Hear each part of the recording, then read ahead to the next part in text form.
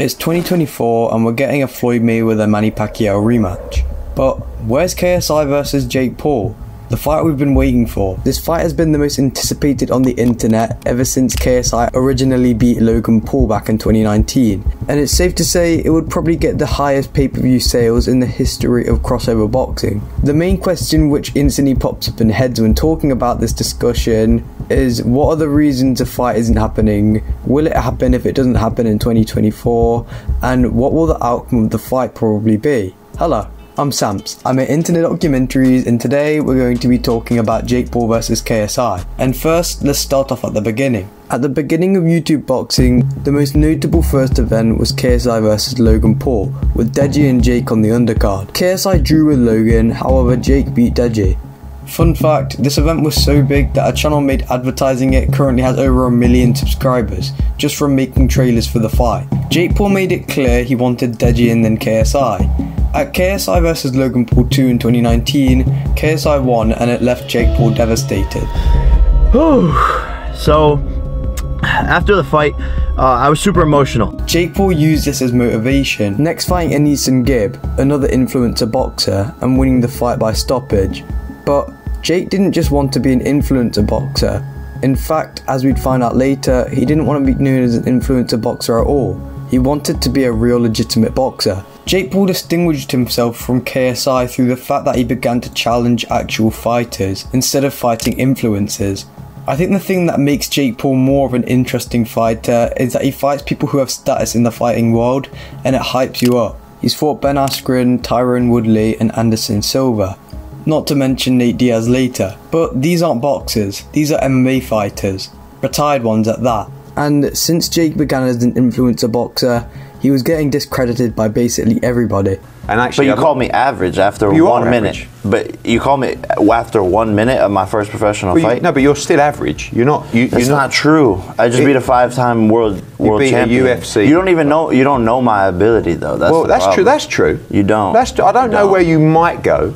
I just give you where I think you're at, which I'm entitled to, which is Average, average With KSI, I mean, nobody cares if you're fighting Pineda because nobody knows who he is. It doesn't really prove any points. Jake gained his name as the problem child because he was just going through the whole fighting industry, knocking out big names, but also because of his extremely emotional personality. What the fuck is up, you Irish? Good morning, Conor McGregor. I know you're probably beating up old dudes in a bar right now, or maybe you're jacking off because you're sick of your wife. I mean, she's a four, Conor. You could do a lot better, but happy Monday. And Dana White, you're a too, you ugly bald. You said there's 0% chance of this fight happening, but there's 0% chance of you getting some pussy. It seems as if Jake was only burning down bridges, whereas KSI was more focused on building them. Like how Jake Paul started beef with Dana White, and instead KSI partnered with him to have Prime be the official sports drink of the UFC. As it was seeming all perfect for the problem child, the worst thing that could have happened happened, when Jake Paul challenged Tommy Fury, he was met with an unfortunate outcome, losing his first fight ever.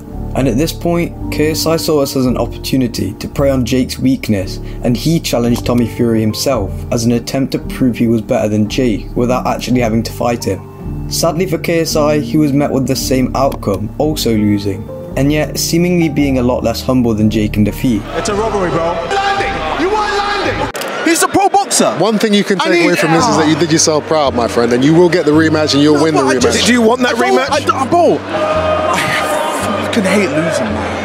Ultimately, even though Tommy Fury won it, it was a loss because he said he was going to knock out. Control it, control it, KSI, come on. He's obviously very With all of this happening leading us to the beginning of 2024, it gives us a perfect setup for Jake Paul versus KSI. Both are undefeated besides the same person. The story behind the fight has been growing and is well known across the internet, and the tensions are already high. Even your fans see it, bro. Even your fans see it that you're just ducking and making up so many excuses all the time, and it's always a new lie. It's always this, it's always that. I don't give a fuck size of the ring. I don't give a fuck any of that.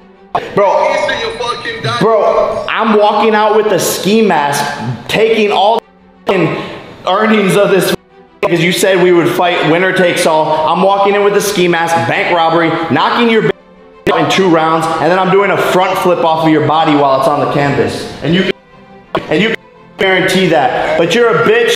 Yeah, You're a bitch I hope you. I hope. I hope you realize it. I hope you realize it when you look yourself in the mirror at night. Every every. You realize that you're ducking me and you're scared. And the greatest thing to ever happen to you is Prime. And my brother brought that to you, and you're lucky because the Paul family keeps blessing you. But I'll see you later. But as positive as the fight happening may seem in the fans' eyes, to Jake Paul and KSI it doesn't really make sense. First off, as I mentioned before, Jake and KSI's boxing careers are very different.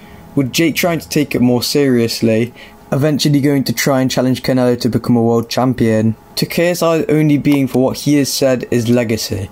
Therefore, Jake has said he's not interested in fighting him anymore, and has already found a new opponent for 2024. Also, when Jake Paul fought Andre August at late 2023, it showed that he doesn't really care about putting on a big show anymore. He just wants to get the fight experience. Similarly, KSI has said he is too busy with his business ventures, building up the company Prime with Logan.